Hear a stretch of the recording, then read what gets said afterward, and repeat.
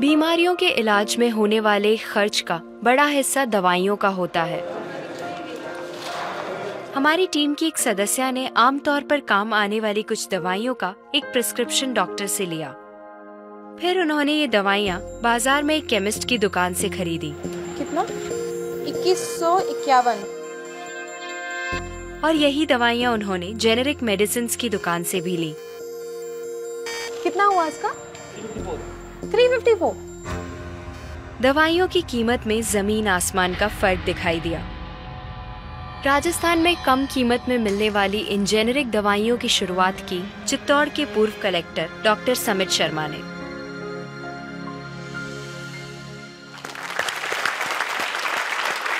Doctor समित मुझे बताइए कि ये कैसा मुमकिन है कि हमारी जो कॉरेस्पॉन्डेंट थी वो वही दवाइयाँ उन्होंने 2000 कीमत में उनको मिली एक दुकान में और जो जेनरिक मेडिसिन है उस दुकान में जब गई तो उनको कम में मिली 300 में मिली। ये कैसे मुमकिन है? ठीक इसी समय प्रतिक्षण प्रतिपल एक ट्रेजेडी हमारे चारों ओर घट रही है। अर्थक्वेक की या कोई सुनामी की बात करें उसमें जितने लोगों की जाने एक दिन में जाती हैं उससे ज़्यादा जाने प्रतिदिन इस ट्रेजेडी की वजह से जाती है। वो, जी। वो क्या ट्रेजेडी है? वो ट्रेजेडी ये है साहब कि जो दवाइयों की जो वास्तविक कीमत है वो तो बहुत ही कम है। पर जो दवाइयाँ हम जब बाज़ार से खरीद के लाते हैं तो हमें वो पाँच गुना दस गुना बीस गुना कई बार तो पचास गुना से भी ज़्यादा दामों पे हम उसको खरीदते हैं।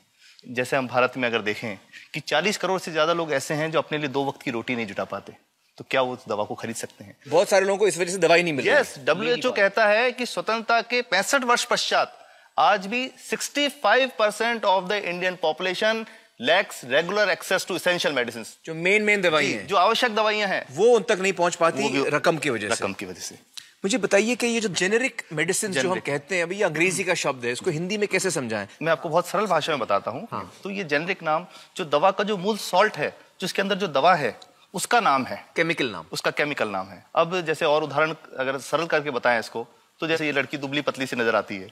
तो मैं अगर डॉक्टर हूँ हाँ। तो मैं इसको ये कहूँ एक गिलास दूध सुबह एक गिलास शाम को पिया कर। पर चिकित्सा के व्यवसाय में दुर्भाग्य से हमारे देश में ऐसा नहीं हो रहा। हम ये नहीं कहते कि आप भैंस का दूध लेके आइए। हम कहते हैं कि वो रामू की भैंस का दूध लेके आना। यही ब्रांडिंग है। ये जब उसकी दुकान पे जाती है, वो कहता है, पाँच सौ रुपए लीटर है। लेना है कि नहीं लेना? तो जो तीस रुपए की चीज़ है, वो पाँच सौ रुपए में मिलती है।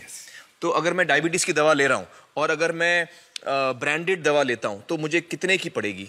जैसे एक एक सौ सत्रह रुपए में भी है। एक सौ सत्रह रुपए में मिलती है। अब और अगर वही चीज़ हम उस उसके जेनेरिक मेडिसिन के नाम से लें तो वो कितने की बनती है? वो मात्र एक रुपए पिचानवे पैसे में दस गोली मिलती है।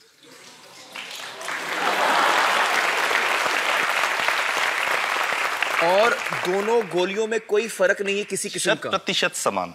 क्योंकि इसकी उत्पादन लागत ही इतनी है। उसका मैन्युफैक्चरिंग पैकेजिंग ट्रांसपोर्ट रिटेल मार्ज जो उसके मार्जिन जो हैं जो हमारे ज़्यादा वो की सब मिला करके उतने की ही पड़ती है। कुछ कैंसर के मैं आपको उदाहरण दूँगा।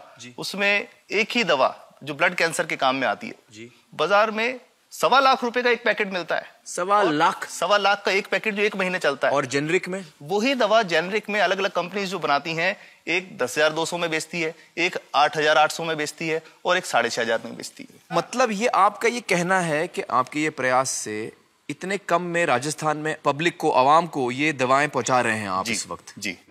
क्या बात है।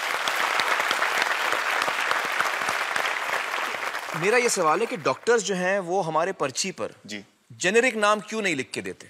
क्यों लिखते हैं वो ब्रांडेड जाने नहीं देंगे बाहर फिर। नहीं नहीं सब जाने देंगे। जब एक नया नया मेडिकल प्रैक्टिशनर जब प्रैक्टिस शुरू करता है तो उसके पास जो कंपनी के जो मेडिकल रिप्रेजेंटेटिव्स होते हैं सेल्स बढ़ाने का उनका काम होता है मार्केटिंग प्रिंसिपल के हिसाब सेल्स एजेंट होते हैं बेसिकली फिर वो कहते हैं साहब आप हमारी जो दवा है यही लिखना ये बहुत बेहतर दवा है इससे मरीज़ ठीक होगा। और उनको डॉक्टर्स को लिखने के लिए उनको प्रेशराइज किया जाता है उनको अटैम्प्ट किया जाता है।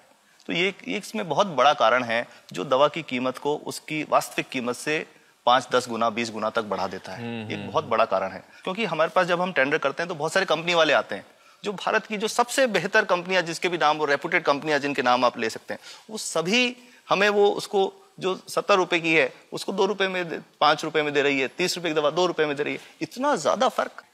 तो कंपनी तो दे सकती है और देना चाहती है और हमें देती भी है इतनी कम दामों में हमें दे रही है ना, ये संभव तो अच्छा मैं आपको बताऊँगा कि भारत से हम लगभग पैंतालीस हज़ार करोड़ रुपए की जेनरिक दवाइयाँ प्रतिवर्ष विदेशों को निर्यात करते हैं।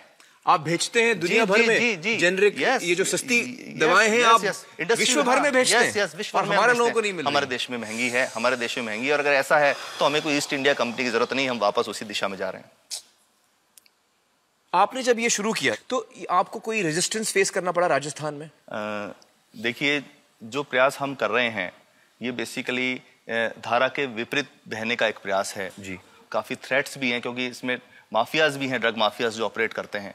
और हम हमेशा ये बात कहते हैं कि हम सौ साल से भी पुरानी शोषण की व्यवस्था को बदलना चाहते हैं। पर हमने हमेशा डॉक्टर्स को दोषी नहीं माना। जी, जी। सारे डॉक्टर्स बुरे नहीं है। फिफ्टी सिक्सटी परसेंट तो जेनविनली वो चाहेंगे कि गरीबों हाँ, को- गरीबों का कम, हो। कम कीमत पे दवा मिल जाए वो हाँ। चाहेंगे। और आज भी ऐसे डॉक्टर्स हैं जो अपने घर से सैंपल्स ला करके अपने जेब से पैसे निकाल के मरीज़ का इलाज कराते हैं। ऐसे डॉक्टर्स आज भी हैं। बिल्कुल सही। तो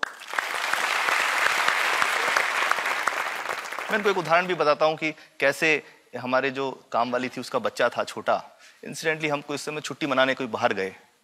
जब हम लौट के आए दस बारह दिन बाद तो वो लक्ष्मी के साथ उसका छोटा जो बेटा था, राजू, वो भी उसके साथ आता था जब, और मेरे बच्चों के साथ खेलता था, मेरे बेटे के साथ खेलता था। तो वो लक्ष्मी अकेली ही आई राजू नहीं आया। तो हमने पूछा कि क्या हुआ? तो उसने जो बात बताई कि साहब, वो उसको, आप गए थे, उल्टी दस्त हो गया था। उल्टी दस्त की बीमारी के लिए वो जब दवा लेने गई तो केमिस्ट ने उसको कहा कि इसके तो चार सौ रुपये लगेंगे। तो उसने कहा, साहब, मैंने खूब मांगा, मेरे पास चार सौ रुपये मुझे नहीं थे और मेरा बच्चा रात को ही उसको दस्त आते रहे, वो खत्म हो गया। और मैं आपको ये कहना चाहता हूँ कि वो जो दवा लिखी थी कि वास्तव कीमत डेढ़ दो रुपये ही है तो वो वो वो बच्चे की जान बच सकती थी। पैंसठ वर्ष के बाद भी अगर कोई बच्चा उल्टी दस्त मर जाए तो मैं नहीं समझता इससे शर्मनाक बात कोई हम लोगों के लिए हो सकती है। और सबसे बड़ी बात कि इसे आसानी से बदला जा सकता है। हमें सबको एक, एक समन्वित एक संगठित प्रयास करने की ज़रूरत है। ये तो कुछ भी नहीं है कोई नई फैक्ट्री खोलनी नहीं कोई नई दवा नहीं बनानी ये सब जो गलत चल रहा है इसको रोकना ही तो है। तो दोस्तों डॉक्टर समित की बातों से हमें यह पता चला है कि दवाइयों का जो कॉस्ट होता है जो उनको बनाने का खर्च होता है वो बहुत ही कम होता है। और हमें इन कम दामों में ये दवाइयाँ मिल सकती हैं अगर हमारी राज्य सरकार जेनेरिक मेडिसिन की दुकानें खोले। जैसे राजस्थान सरकार ने किया है और जिसके लिए हम उन्हें सलाम करते हैं। एक बात और, अगर आप एक एनजीओ हैं और आप जेनरिक मेडिसिन की दुकान खोलना चाहते हैं तो department of chemicals and fertilizers आपको पचास हज़ार रुपए की ग्रांट भी देता है। डॉक्टर समित, आपने बहुत ही बेहतरीन काम किया है और इस बहुत ही अहम मुद्दे पर रोशनी डालकर हमारी आँखें खोल दी हैं। और हमारी दुआ यह है कि जो काम आपने राजस्थान में शुरू किया है, वो हर राज्य में फैले, देश के कोने कोने में फैले। बहुत बहुत शुक्रिया हमारे साथ बातचीत करने का। Doctor Samit thank you so much